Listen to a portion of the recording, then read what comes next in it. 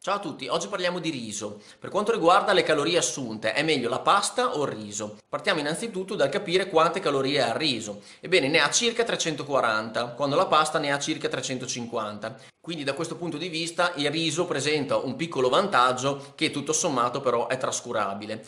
Come abbiamo detto tante volte, la quantità di calorie, la densità calorica di un prodotto dipende dai macronutrienti e da quanta acqua contiene, quindi dall'idratazione.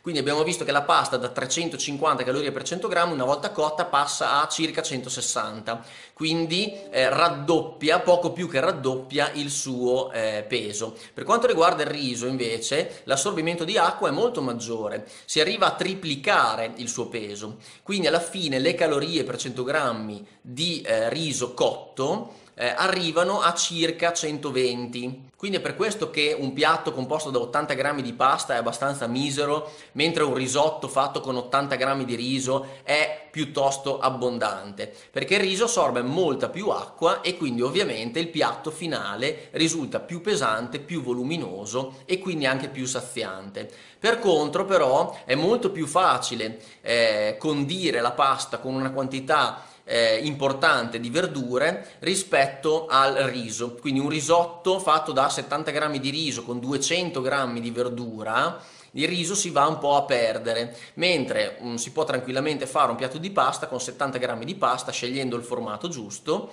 e abbinandolo appunto a 200 grammi di verdura.